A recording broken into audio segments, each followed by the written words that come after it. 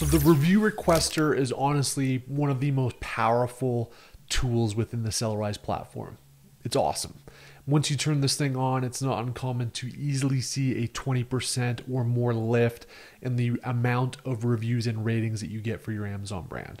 So by enacting this, you set it on an automated basis so that in real time as orders come in, using the criteria that you set out here in the dashboard, it will in perpetuity send these review requests out to customers, which is an amazing way to get reviews.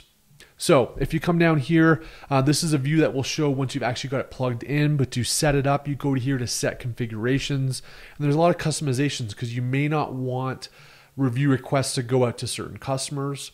And you may want to change the timing and sequencing of when your reviews get requested. So this first one just uh, lets you send on orders with no feedback and with feedback.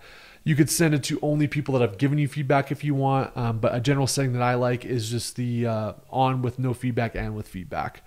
You can make it so that if someone's actually left you seller feedback on your account but not product feedback, you can make sure that only positive reviews on your actual selling account get requested to review. So if somebody's left you say a 1, 2 or 3 star review on your seller account and you don't want to send a request on the product, this will automate that so you don't send those things out. The other thing is, is you can send it to repeat buyers, or you can only send it to repeat buyers, or if you want, you can send it to people that haven't bought from you before. I typically like to have repeat and non-repeat buyers, but it gives you that optionality here.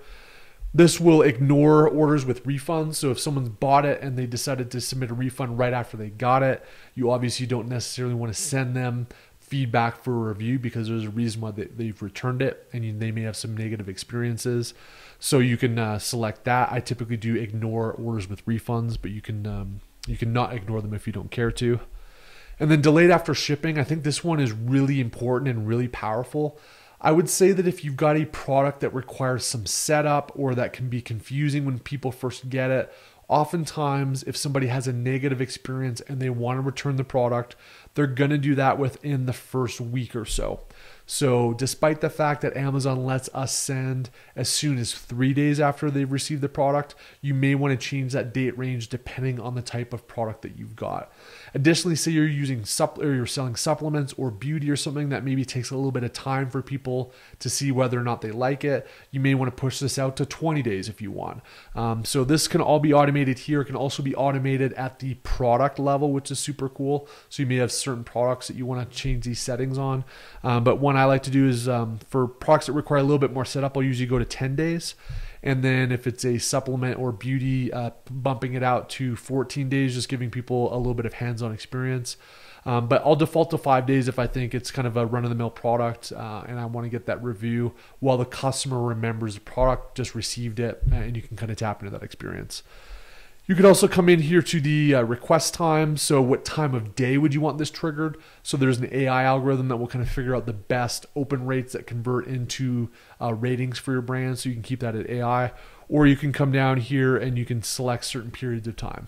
So, you may want to send them out in the morning, you may want to send them out in the afternoon, evening, or literally as soon as you possibly can within Amazon's rules that they have set up. You can trigger that as well here. You can have a daily limit if you want to kind of throttle the amount that go out per day so that if you have like a really big high kind of sales on Thursdays and Fridays, you may want to kind of spread those out evenly so that you have even distribution. And then you can also request from the order date. So you can say a particular uh, period of time um, that you want this to initiate. So all cool things that you can automate within the system here. Um, and I love that flexibility, especially at the ASIN level. So you can come in here and do that. If you come down here to the bottom, um, there's going to be uh, configurations again that you can kind of set or even turn off here at the ASIN level. I've got privacy mode enabled, so it's uh, clearing these products out, but you would see your actual photos of your product as well as the ASIN and product name here. And it'll have these different configurations that you can set up. Um, let's say that you had a, a, batch of products that just turned out that you're getting a lot of negative reviews on them for whatever reason. You can come in here and toggle that off at any time.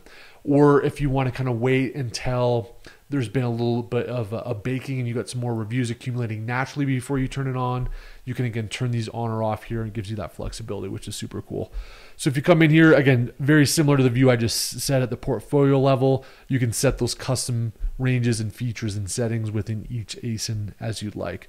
And then it's got all your entire product uh, list here, which is fantastic. And then coming back up here to the dashboard, you can see on each individual day how many reviews were requested, so you can track that over time. And then you can also see your order list of all the orders that have come in for that particular account and that particular region. So that is the review requester feature.